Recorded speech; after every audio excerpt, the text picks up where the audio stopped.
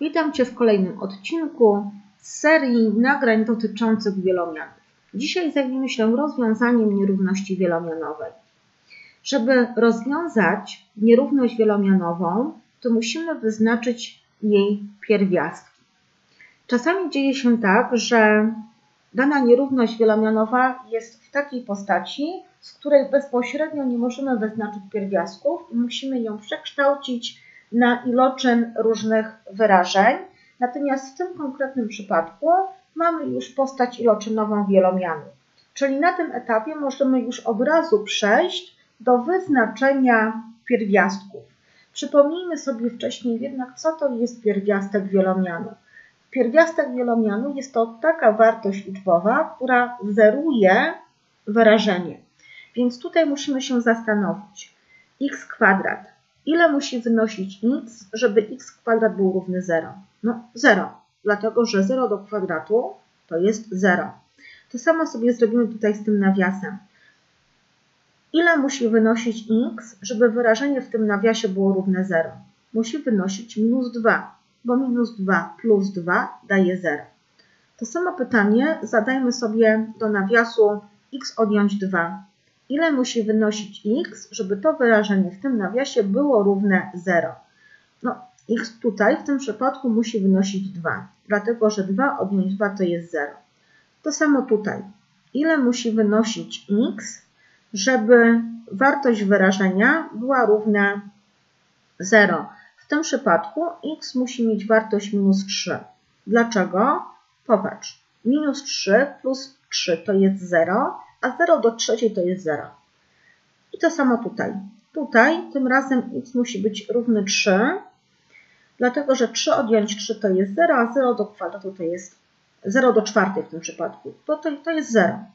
I dzięki temu mamy już wyznaczone pierwiastki tej nierówności.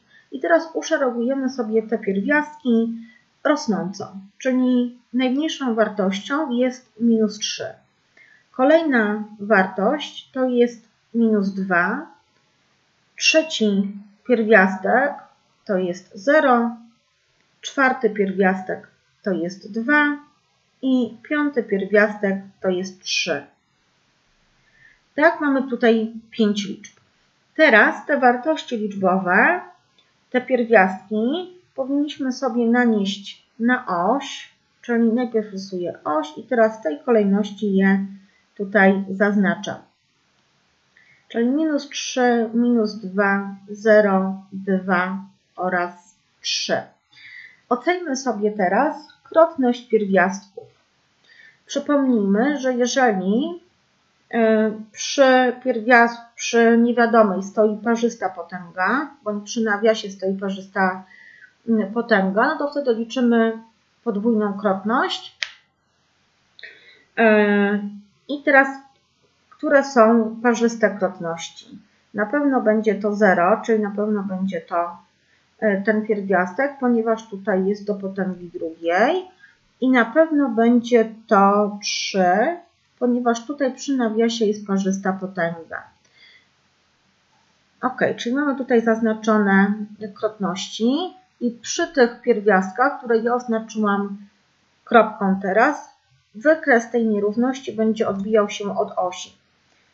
I zwróć uwagę, że jeżeli byśmy wymnożyli te nawiasy przez siebie, to przy najwyższej potędze stałaby wartość dodatnia, dlatego ja będę rysowała z góry ten wykres. No i za, zabieramy się za rysowanie. Tak? Tutaj odbijam wykres, to może średnio dokładniej.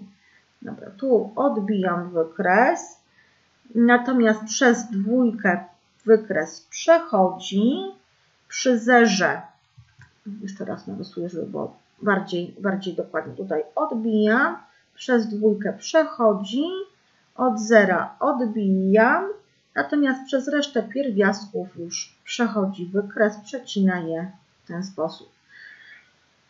Mamy tutaj nierówność, która musi być większa bądź równa, więc pierwiastki są rozwiązaniem tej nierówności także, dlatego ja je tutaj zaznaczam zamalowaną kropką.